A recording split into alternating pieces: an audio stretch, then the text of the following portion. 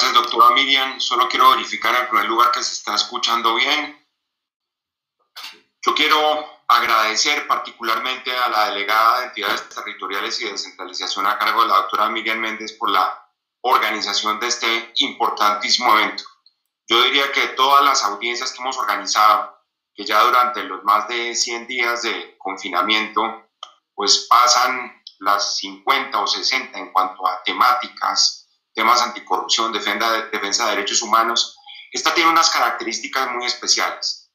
porque estamos no solo entregándole la palabra a 26 organizaciones sociales, sino que estamos contrastando la visión de las organizaciones sociales en los territorios con las autoridades del orden nacional, con otros dirigentes de diversos sectores empresariales, educativos, la iglesia y por supuesto los representantes del pueblo en este momento porque tenemos la presencia y saludo muy especialmente a los senadores que nos acompañan en esta audiencia. Y terminaremos esta audiencia con las autoridades locales, con quienes están en el territorio poniéndole el pecho a la crisis, a esta crisis que es una pandemia con una cantidad de epidemias adentro que son precisamente las que vamos a describir muy brevemente y que corresponden además a dos principios fundamentales. Primero, a la creencia absoluta en el diálogo social como instrumento para construir y para consensuar, para evitar además las violaciones de derechos humanos en los territorios, como ha sido la línea de esta Procuraduría desde el día cero, y la posibilidad cierta de tener muchos puntos de convergencia, de llegar a unos compromisos y darle seguimiento a esos compromisos alrededor de una agenda integral de trabajo, porque esto no ha sido el resultado de la improvisación. Como la doctora Miriam Méndez lo acaba de mencionar, ha habido varias reuniones preparatorias, hemos recogido las inquietudes fundamentalmente de las organizaciones de la sociedad civil acá representadas, con el ánimo de tener esas tres temáticas que tienen que ver esencialmente, primero con el derecho a la salud, segundo con los derechos económicos, sociales, culturales, ambientales y tercero con la problemática de orden público, que los señores obispos en el día de ayer además la levantaban como uno de los puntos más críticos de toda esta coyuntura. Y siempre de la mano de la ciudadanía, de la mano de esa ciudadanía del Pacífico Centro y de la costa pacífica nariñense, que tanto ha sido afectada dentro de nuestro confinamiento. Lamentablemente, pocos se han enterado de lo que ha venido sucediendo en los territorios y lo que ha venido sucediendo en los territorios es un poco la agudización de muchas crisis que venían de atrás, golpeadas por la falta de presencia institucional, por la falta de bienes y servicios públicos, por un conflicto armado que no ha cesado en alguna parte de nuestros territorios, por la pobreza, la desigualdad y la corrupción. Por eso vinimos aquí fue a escucharlos a todos y a tratar entre todos de plantear unas soluciones fundamentalmente en función, repito, de esa dimensión territorial que pocas veces se tiene en cuenta en Colombia. La Procuraduría, como siempre, seguirá sirviendo de puente entre el gobierno nacional, entre las organizaciones de la sociedad civil, entre la empresa, que tiene aquí también unos grandes compromisos, y yo quiero agradecerles a los representantes de todos esos sectores aquí, voceros precisamente, de relaciones que tienen que ver además con uno de los territorios más importantes de Colombia, que son varios departamentos, muchos municipios, gran riqueza ambiental pero gran atraso y desigualdad y por supuesto una presencia creciente del crimen organizado que señala los problemas del orden público. Nosotros hemos dicho en el caso de la corrupción que no es curioso, sino que es una consecuencia casi estructural que la corrupción ataque de manera tan dura a los sectores sociales en estos últimos tiempos. Lo hemos demostrado además con las acciones disciplinarias que hemos tomado, entre otras lamentablemente en el departamento del Chocó. No sabemos o no sabíamos por qué golpeaba tan fuertemente a los territorios toda esta crisis, pero eso es lo que vamos a ir dilucidando a partir de las intervenciones. En el caso particular, y para poner un ejemplo, después de 43 años llegaron las primeras unidades de cuidados intensivos al Chocó y eh, hasta ahora nos estamos dando cuenta, hace 48 horas, en un contrato realizado en relación con la llegada de esas camas y otros equipos aparentemente venían usadas y son obsoletas. Esa es la historia de siempre. Esa es la historia del abandono. Esa es la historia de quienes están listos a ver de qué manera se quedan con los recursos públicos y por supuesto los intereses de la comunidad siempre quedan en último lugar. Uno podría decir en, primer, en un primer momento, y no quiero eh, ser pesimista en ese sentido, que la situación es realmente alarmante, que esta pandemia ha generado unos daños y que todos tenemos la obligación de mitigar los efectos económicos y sociales que dependen de ella. Y por eso hemos priorizado este territorio, esta región del país para comenzar con un insumo que ha sido fundamental y ha sido el seguimiento diario que le ha hecho la Procuraduría por la vía de los procuradores regionales y los procuradores provinciales. Esto no es un testimonio simplemente de oídas, esto ha sido la presencia de muchas delegadas, lideradas por la delegada territorial, en una lectura diaria, en una toma de pulso de lo que está sucediendo en los territorios de Colombia desde mediados de marzo, cuando se inició el confinamiento. Y el resultado de las reuniones preparatorias que ya mencionaba la doctora Miriam Méndez. Allí hay, por supuesto, una cantidad de conclusiones que me voy a, casi que voy a referirlas telegráficamente para fijar simplemente una estructura del debate de lo que se va a dar en los próximos minutos. Primero, la necesidad de coordinar esas acciones entre el gobierno nacional y el gobierno territorial. Una gran ausencia del gobierno nacional, una gran afectación de los derechos humanos en la región pacífica, que además aparece como una de las causas más apremiantes de esta pandemia en términos de la crisis social que está generando. Lo segundo,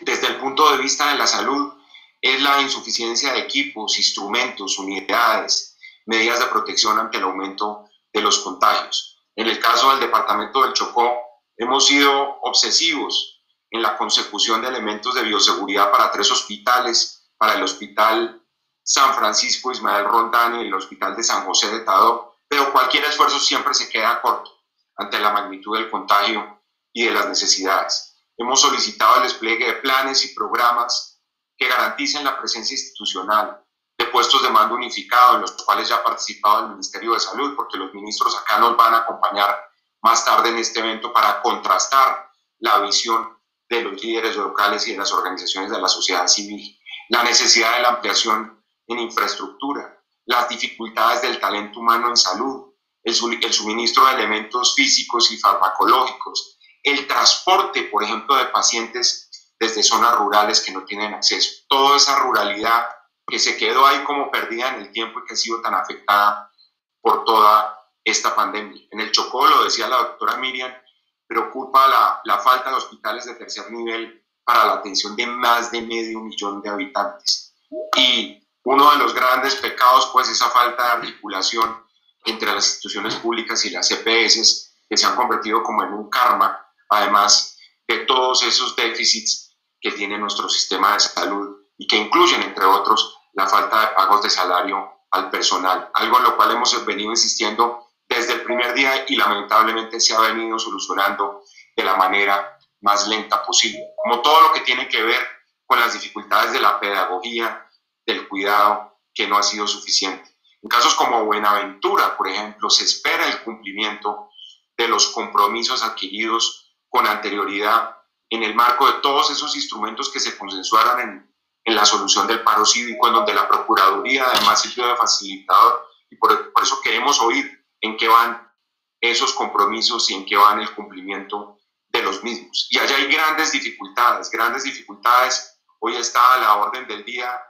las dificultades que tienen que ver con la demora en la entrega de los resultados de las pruebas diagnósticas, pero allá además está el problema del seguimiento de los casos positivos.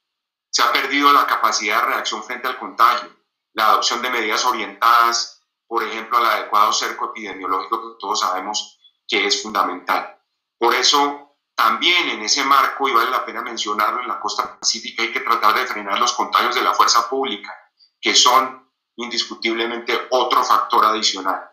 Y como todo esto, de alguna manera, ha frenado el retraso de una estrategia de salud pública, y eso lo queremos resaltar porque apareció en todas las mesas de trabajo y está planteado como una alerta roja por parte de nuestros procuradores regionales y provinciales del tratamiento de muchas enfermedades distintas del COVID que están ahí presentes más que nunca, como la malaria, el dengue, infecciones respiratorias agudas, fiebre amarilla y paludismo, que están saliendo a flote en este momento y por supuesto hay mucha evidencia en el retraso frente al tratamiento de estas enfermedades. Los temas de disposición de cadáveres en Chocó y en el Cauca requieren una intervención urgente en, términos de nuestros territorios. Y sobre todo, que lo reclamado además por todas nuestras poblaciones ancestrales, étnicas, la necesidad de un enfoque diferencial, étnico, de género, que supone, por ejemplo, una acción en las zonas rurales que han estado no solo confinadas, sino que han sido víctimas de nuevos delitos por las organizaciones armadas en estos territorios. En esa misma manera, hemos reclamado un modelo integral en la atención en salud, la necesidad de prestación de diversos servicios de salud que están en déficit en este momento lo que tiene que ver con la pedagogía del cuidado, lo que tiene que ver con la garantía del derecho a la información, la medicina tradicional, que es tan importante en estos territorios, y la participación de la ciudadanía en la elaboración y la implementación. Aquí tenemos que dejar de lado que esa punta de decisiones unilaterales, autoritarias, como vamos a solucionar esto. Y esto se ha venido presentando en el caso de algunos mandatarios locales. Por ejemplo, hoy le pedimos abiertamente a la gerencia del COVID-19 para el Pacífico, que articule, que coordine con las, con las autoridades territoriales del nivel departamental y municipal. Nosotros no necesitamos más centralización y una nueva, como yo lo he repetido muchas veces, una recentralización de una cantidad de competencias, porque es con la gente en los territorios como salen las soluciones, incluso frente a males tan grandes con los que estamos enfrentando en este momento. En materia de derechos económicos, sociales, culturales, el tema de los servicios públicos saca la cabeza con mucha fuerza. La precariedad en la prestación de los servicios públicos, la ampliación, la cobertura, la calidad de los servicios públicos, especialmente en temas del agua potable, que ya arrancar por eso es arrancar con un panorama bastante complicado, como la prestación intermitente, que lo saben todos los habitantes de la zona Pacífico, que es otro de las cuestiones estructurales en materia de servicios públicos. Por otro lado, aparece en todas las mesas y en todas las preocupaciones de las organizaciones de la sociedad civil la crisis alimentaria en el Pacífico, especialmente en zonas rurales, exacerbada en este momento de manera completa por la emergencia, impactando además a los colectivos más vulnerables, a los niños, niñas, adolescentes, a las mujeres, a las poblaciones étnicas y a los colectivos de víctimas, porque parece además que toda la política de víctimas que hacía parte de los compromisos, no únicamente del acuerdo de paz, sino de los planes de desarrollo nacional y departamental, quedó relegada al último lugar en las preocupaciones de las autoridades nacionales y, por supuesto, departamentales municipales. Existen dificultades en materia de educación por falta de conectividad, por, por falta del servicio de electricidad, por el manejo de herramientas tecnológicas. Esto aparece casi que obvio. Y realmente en estos casos, tanto docentes como padres de familia eh, reclaman que esto impide abiertamente continuar con todos esos procesos educativos, casi que perdiendo una generación en uno de los territorios más abandonados de Colombia. Y también en el tema de los grupos armados es evidente que ellos sí que han tomado provecho de esta emergencia. Eso es indiscutible no solo porque ha aumentado el peaje de la muerte de líderes sociales, como lo sabe todo el país, sino porque sigue el reclutamiento forzado de niños, niñas y adolescentes en el Pacífico y hay que reforzar ese tipo de protección. Para no hablar de todo lo que implica, que ya nos, los expertos nos hablarán de esto, de todo lo que va a ser necesario en materia de reactivación de la producción interna, por una parte, para generar esas condiciones de seguridad alimentaria que van a ser fundamentales para ponerle pecho a la crisis social que ya se está viviendo. Los derechos culturales de las organizaciones del Pacífico, también eso ha quedado un poco a la hora del camino y una variable que es trascendental por tratarse de la, de la zona del país más rica en biodiversidad y una de las grandes paradojas y en la forma como se ha presentado un retroceso en el manejo de los temas ambientales, como la deforestación, la comercialización ilegal de la madera sigue siendo con la minería ilegal una de las grandes problemáticas del Pacífico colombiano, que hoy sumada al narcotráfico tradicional, y no me referiré a ello porque pues es, es casi de, de común conocimiento de todas las aplicaciones que sigue teniendo sobre toda esta zona del país, que tanto queremos y sobre la cual hemos estado tan ausentes durante tantos, tantas décadas. Yo quiero finalmente destacar la importancia de la acción coordinada de los ministerios. En el caso del Ministerio del Interior, por ejemplo, las autoridades territoriales, buena parte de esos espacios de participación ciudadana, evidentemente por las limitaciones que nos ha puesto la pandemia, como la Mesa Étnica Territorial de Paz o la Mesa Interétnica o Intercultural y otros procesos organizativos necesitan ser reanudados, necesitan ser fortalecidos, como también el papel que el Ministerio está llamado, ya lo mencionaba, en la vigilancia del cumplimiento de los compromisos adquiridos por autoridades de todo nivel nacional y territorial en el Pacífico, donde además hay unos compromisos de carácter internacional, hay compromisos de, de cooperación internacional. Los organismos multilaterales, multilaterales de financiamiento, sabemos, jugaron un papel fundamental en la solución de estos problemas que llevaron al paro cívico tanto de Chocó como de Buenaventura. De tal manera que estamos hablando de estrategias integrales, de estrategias integrales que tienen que ver para ver cómo logramos parar esa ola de violencia, esa situación de violencia por el control territorial que sigue actuando, como lo decían los señores obispos en el día de ayer, que ponen entredicho la supervivencia de las comunidades en sus territorios y sobre todo la garantía de todos sus derechos. ¿Por qué? Porque han seguido las amenazas, el desplazamiento, el confinamiento de comunidades, las agresiones y exterminio de líderes sociales y de excombatientes sometidos a los procesos de, paz que han sido característicos y que, por supuesto, requieren algún tipo de acción de las autoridades, la utilización de artefactos explosivos y, repito, el reclutamiento forzado. En materia de desplazamiento, por ejemplo, es necesario disponer de un alistamiento de albergues para su protección porque es un tema que está completamente suelto en este momento sin atención de buena parte de las autoridades. Y finalmente el tema de, la erradicación forzada de cultivos ilícitos por los enfrentamientos que ya conoce todo el país y que son críticos en los territorios para las comunidades entre la fuerza pública y las propias comunidades por la fumigación, desconociendo, por supuesto, los acuerdos colectivos de sustitución de cultivos. A eso, y lo menciono de nuevo, le sumamos la violencia de género que existe, las vulneraciones permanentes de los derechos de los menores, la necesidad de defender los derechos de las minorías y la necesidad de fortalecer la presencia de la fuerza pública, además siempre acompañada de la oferta institucional y de las instituciones de la justicia. Porque es evidente, y lo van a decir los miembros de las organizaciones sociales, que se requiere fortalecer la presencia, por ejemplo, de la Fiscalía General de la Nación en el tema de las investigaciones y las sanciones que llevan a la vulneración de los derechos individuales y colectivos. Se requiere y saldrá de aquí una propuesta, por ejemplo, en materia de protección, de las protecciones otorgadas por la Unidad Nacional de Protección a las realidades territoriales con ese enfoque individual y con esquemas de protección colectiva que son fundamentales para comenzar a poner en marcha inmediatamente. Los temas que tienen que ver con el reclutamiento forzado exigirían la presencia de la Consejería Presidencial para los Derechos Humanos e insisto en la necesidad de los derechos de las víctimas que aparecen también tan vulnerados en esta, en esta pandemia. Eh, concluyo simplemente eh, destacando también que aquí hay que verificar el cumplimiento de muchos mandatos de la Corte Constitucional, particularmente del auto 005 del año 2009, que fijó unas obligaciones. Luego termino simplemente destacando la importancia